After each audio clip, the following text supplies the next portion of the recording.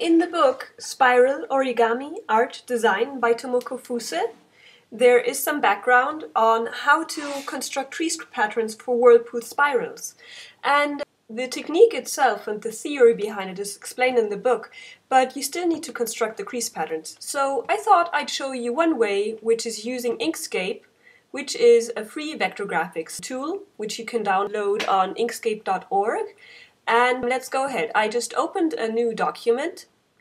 And first off, we're just going to use guides around the page so that I can actually get rid of these borders around the page because I think they're somewhat distracting. So I'm going to deactivate show page border and show border shadow.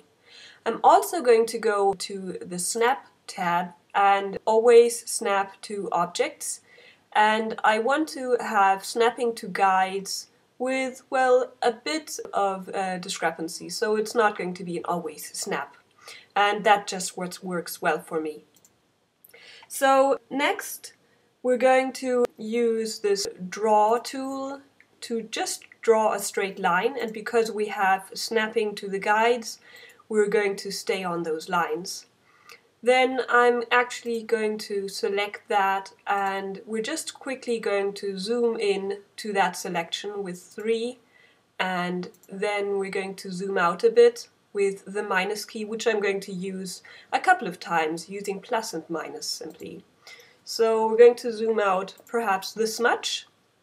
And now I want to create angles. So I'm actually going to be constructing a whirlpool spiral with the parameters 5, 10, 31. So I'm going to be using an angle of 31, an angle of 10, and another angle uh, which is going to be 108 degrees or 72 because that's kind of the complement of, a, well, this is 180 degrees, so if you have 108 degrees in one direction, you have uh, 72 degrees in the other one. But never mind that, so, you know, the, the angles are actually given in the book. So to create that, I'm just going to quickly duplicate this line because I'm going to use a lot of duplication to always have the same angles really. I'm not always certain whether this is a straight line and I do want to have the exact angles. So I'm going to select it and then go on Object Transform. And this is going to open the transform window here and we're going to use that a lot. So we're going to rotate this by 31 degrees and now we are going to snap this and it's actually going to snap to exactly that point so it's going to be perfect. And then I'm going to duplicate another time and this time I'm going to rotate by 72 degrees and now I kind of want to construct a triangle which is going to be the base triangle. So for that I'm just going to use guides just by making a click and pulling you you add a guide which is just going to be something that you can snap to so that you get exact precision. This tool here you can use to move the points that you, you add to these Bezier um, curves and I'm just going to select it so that I can kind of see the points. You can see these two points but before that I'm going to um, move this guide just by clicking and then dragging so that this intersection of these two lines is exactly the intersection of those two guides. And then I'm going to go ahead and drag that to the intersection. Now I, I'm aware that this means that perhaps the angle isn't exactly perfect anymore, but this is a fast and easy way of getting it just right. And we're going to do the same thing right down here and then we're going to shorten this and that. So now we have a, a base triangle and this part right here actually I think we're going to change the color because this is going to be a different direction. Like this would be perhaps a mountain fold and these two would be valley folds. So now that we have a base triangle, we're just going to group it. so that we can't disconnect it anymore. At least not um, uh, un unless we actually want to. And then we're going to duplicate that so that we have a copy. And we can close this fill and stroke window again. And we're going to rotate it by 10 degrees. And then we're going to align it so that this bottom point is exactly again snapped to that intersection of the guides. Now we want to add another crease line between these two top points and for that again I'm just going to add guides. Just zooming in to get quite good precision here. I'm going to select this so that I can see the point and then drag guides to get exactly that point. So with that in place I can zoom out a bit again and then I can draw a line between those two points. Now we want to also have that line back down there, so we're going to duplicate it. And remember that this triangle we rotated by 10 degrees, so to get this one to the right angle, we're going to rotate it back 10 degrees. And then we can align it to that point zoom in a bit. And again, I'm going to use a guide to get exact precision here to connect these two points. So for that, again, just pull in a guide, pull in another guide, and then draw the line in between. There we go. So now we have two base triangles and the connection, which this is actually going to be the base for the next iteration. But first, this has a parameter 5, so we need 5 base triangles next to each other. So I'm just going to duplicate both actually. And then I'm going to rotate it by 20 degrees because I want to add it here and this will be rotated by 10 degrees, next one needs to be rotated by another 10 degrees. So by just, you know, taking two at the same time, I need to rotate by 20 degrees to get the right angle. Now this one needs to be aligned with that point, and again, to get good precision, I'm just going to add some guides. I absolutely love working with guides because they make it easy to snap things into place.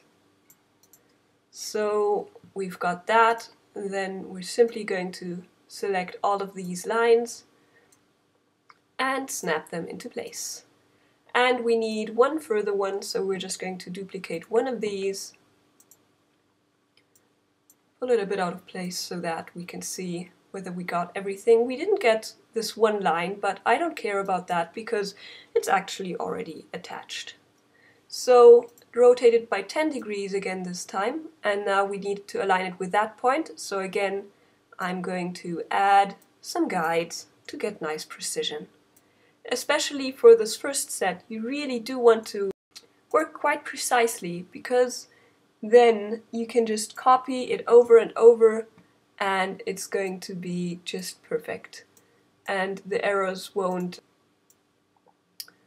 uh, won't add up because you know there's no errors, only very minimal errors, um, it's going to be okay. Just select all of that and again put that into place. So now we've got the first iteration done and we want to add these but they need to be scaled down. And you could kind of do this with trial and error but I actually figured it's easier to uh, calculate what the uh, actual scaling factor is and one easy way of doing is is to actually, um, let's see, let's ungroup this for a bit and, um, huh, duplicate it. Um, this actually got attached together, so I'm just going to delete this node with a delete, so I only have that left. And I uh, want to do two things actually. The first is I want to know how, by how much I need to rotate this so that it can lie on top and then how much smaller it has to be. So for the scaling factor, I need to actually know what the angle is so that I can do the right calculation. So first we're going to look at the angle and this is not the only way for sure, but it's it's a way I found to be quite easy. So I'm going to zoom in quite far and I want the angle of this of this line here. So I just added a node here again and I'm, I'm, just putting my mouse key exactly on that grid intersection. And then in the bottom you can see it says it has an angle of 3.5 degrees. Right down here you'll see 3.5 degrees. So that helps. So let's say 3.5 degrees and I'm pressing this key just to exit that node drawing so to get this line, which is a duplication of that one, so it also has a degree of three and a half, I just need to rotate it back so that it's in parallel to that line. So I'm doing minus 3.5, apply, and you can see a straight edge, but it has the same length as before. So now I can, uh, again, take this line and pull a guideline there and now we can calculate and uh, we can check the length of this line and that line and then we have the scaling factor. So this guide should actually be at zero because uh, this is one of the guides I created from the page border. So we don't need to do too many calculations. And this one is at 158.366 and this one is at 180.727. Okay, so now we just need to do a quick calculation. So 158.366 divided by 180.727 is 0.87627 and so on. And now we can go back here and we know the scaling factor which I'm just going to enter here. Percent, it's 87.627 and so on. And we're going to scale proportionately so that both are in the same direction. This one we can delete now, we don't need anymore. And now the fun begins. Now we can actually select this, group this to one object.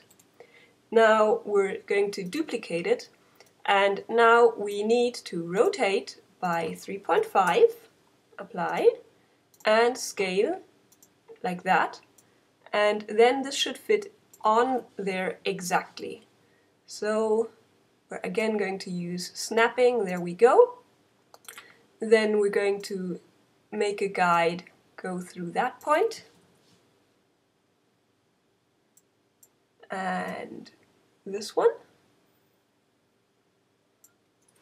Let's see, did we get that right? Not quite, almost. There we go. Then we're going to select this, duplicate, pull it up, uh, apply the scaling and the rotation, doesn't matter in which order you do it, and then cusp. There we go.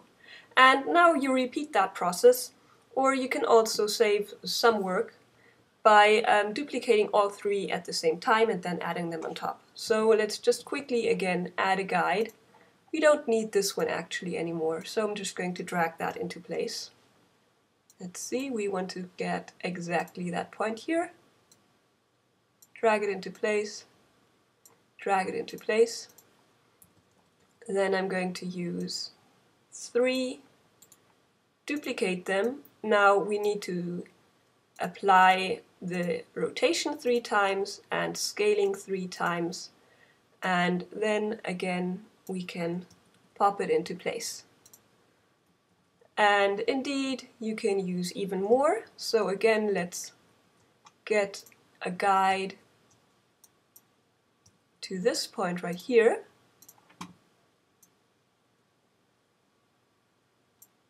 and let's just put that into place and now we've got six already. So let's uh, duplicate, let's pull that out of the way. One, two, three, four, five, six. one, two, three, four, five, six. And then we can again put that into place. And now depending on how many iterations you want, you'll have, uh, you know, a couple more repetitions to do. I'm just going to press this vertical line to remove the guides. You can toggle that, or you can actually do view uh, guides. There you go. I'm going to also want to scale this for printing, so I'm going to go back to the document properties and again show the page border and perhaps the page a shadow and then select everything and then uh, while keeping the control key pressed I'm going to scale so that the proportions um, are going to stay the same. Then just drag that into place and then print it out. So this was just a quick tutorial on how to draw the crease patterns described in the book Spiral Origami Art Design by Tomoko Fuse using Inkscape. Hope it helps and happy folding!